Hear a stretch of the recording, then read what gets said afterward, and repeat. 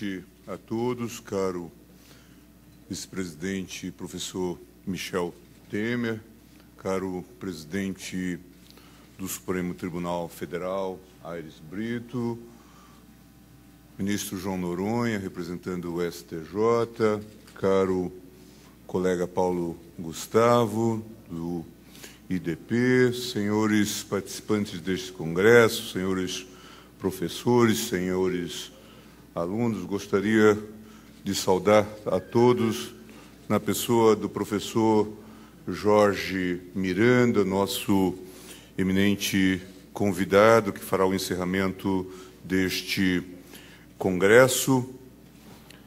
Como todos sabem, nós estamos a celebrar o 15º Congresso de Direito Constitucional do, realizado pelo Instituto Brasilense de Direito Público. Nesses 15 anos, passaram pelo IDP, pela, por Brasília, inúmeros convidados e tivemos aqui diversos e importantes debates constitucionais. Lembrar de vários nomes que aqui estiveram, professor Canutilho, professor Jorge Miranda, professor Peter Hebeli, professor Eriksen de Münster, em suma, nomes importantes passaram por este congresso.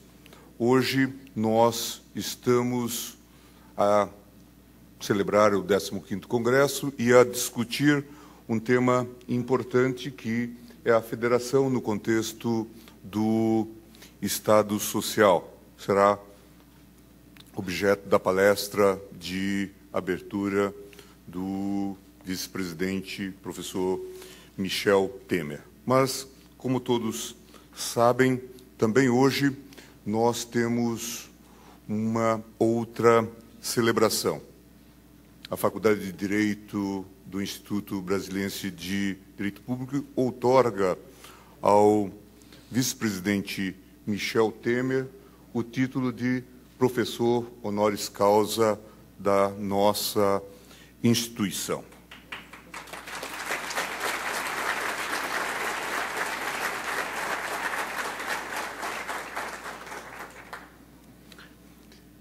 É máxima honra do Instituto Brasileiro de Direito Público em receber Sua Excelência, vice-presidente da República, professor Dr. Michel Temer, cuja trajetória pública, igualmente, como todos reconhecem, vem enchendo de orgulho todo o povo brasileiro.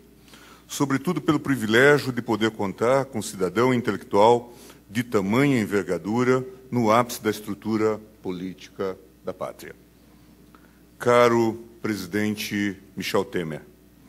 Ao longo de, quase cinco décadas de vida pública, tão modelar quanto profícua, Vossa Excelência, com passo firme, mas sereno, vem construindo carreira política das mais notáveis, a distinguir-se por feitos admiráveis.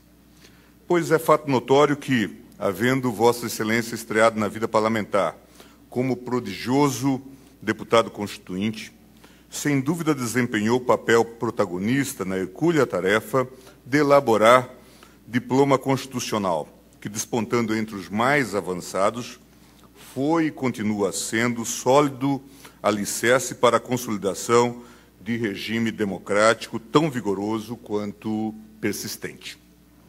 Quem conhece a história nacional há de bem dimensionar a significação, a significância deste quase quarto século de estabilidade, momento se confrontado com o acidentado trajeto percorrido pelo país até o Estado democrático de direito. Acredito que nós não erramos quando destacamos que essa Constituição de 1988, que nós agora estamos a celebrar, com os 25 anos quase estamos a celebrar, marca muito provavelmente, o mais longo período de normalidade institucional, pelo menos, da vida republicana. E esse fato é digno de comemoração.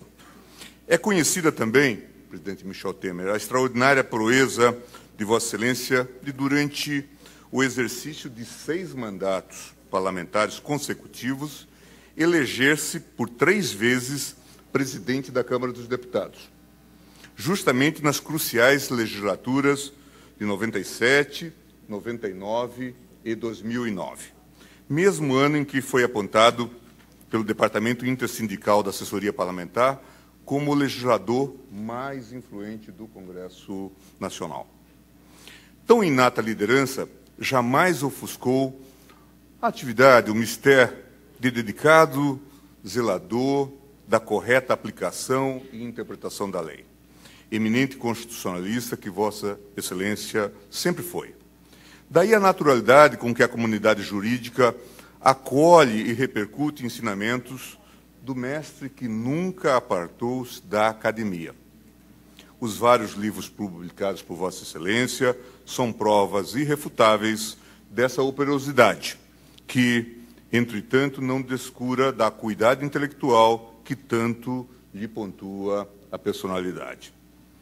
Eu dizia ao vice-presidente Michel Temer que é um dos hits de um dos nossos vídeos, um dos nossos vídeos no YouTube, era uma de suas palestras, atingindo aquelas marcas é, excepcionais e chamando então é, particular atenção é, do próprio sistema de controle do Google.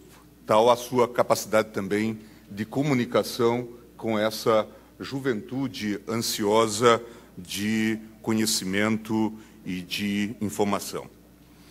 Há exemplos recentes que bem ilustram tudo quanto testemunho aqui, dos quais destaco um.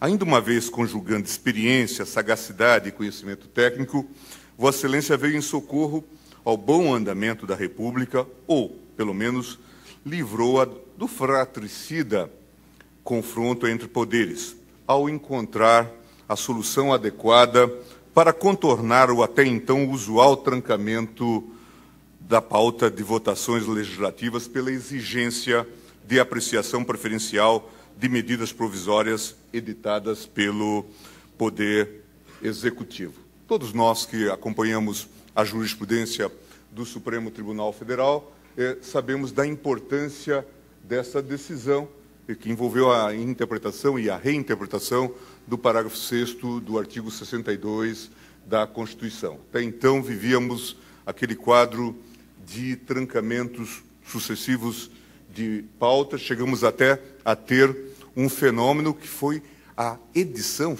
Supremo chegou até a dizer que era legítima, a edição de uma medida provisória para revogar uma medida provisória que trancava a pauta. Considerando uma questão de ordem, o então presidente da Câmara, Michel Temer, fez uma leitura exemplar do texto constitucional dizendo que as medidas provisórias só trancariam a pauta quando tivessem em apreciação leis ordinárias, não outros projetos, não emendas constitucionais, não leis complementares, mesmo também as leis ordinárias que não eram suscetíveis de serem editadas pela via da medida provisória, é, não poderiam ser objeto de trancamento de pauta. Talvez esse fosse o tema mais sensível é, da vida político-institucional naquele momento. Nosso é, decano, nosso caríssimo colega e amigo Celso de Mello, falava já naquele tom que sublinha as palavras, como todos sabem, que essa prática, essa interpretação que se fazia do parágrafo 6 do artigo 62 era uma expropriação da agenda parlamentar pelo executivo. Portanto, isto provocava uma tensão dialética e um desconforto institucional enorme na relação entre os poderes. E foi o gênio de Michel Temer, que permitiu ao país livrar-se desse enorme constrangimento. Haveríamos de aqui ver passar a noite, caro Michel, caso houvesse por bem enumerar os tantos feitos que levam a biografia, a sua biografia. Mas a vida de um grande homem, de um cidadão exemplar, espelha-se em si mesmo, ao converter-se diuturnamente em ações em prol da pátria e do povo que a constitui em nação.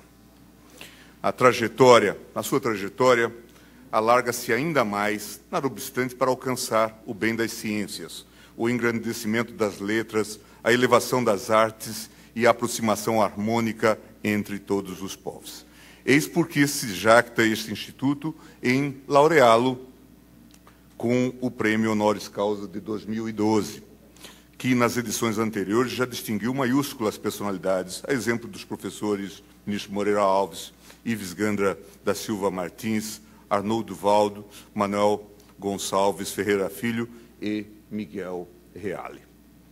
Oxalá, Michel, ainda por muitas décadas, possa prosseguir caminhada tão produtiva e das mais bem-sucedidas nesse intento maravilhoso de semear a harmonia e colher bem-aventuranças. Muito obrigado a todos.